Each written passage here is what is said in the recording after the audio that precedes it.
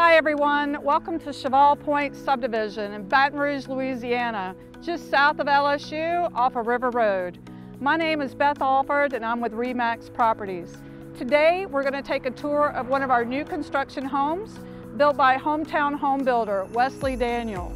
This is one home you're not going to want to miss.